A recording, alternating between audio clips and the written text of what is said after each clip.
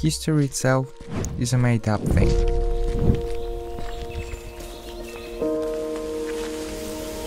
You can't see it, you can't hear it, you can't touch it. It's a reflection of what people left behind, hidden in ancient places.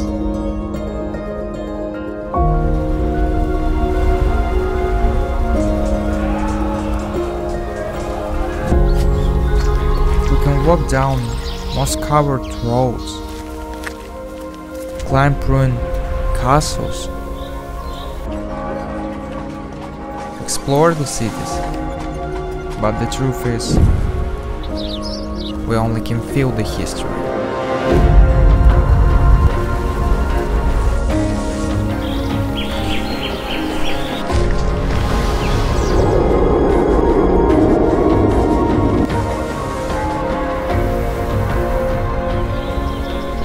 This place made me think.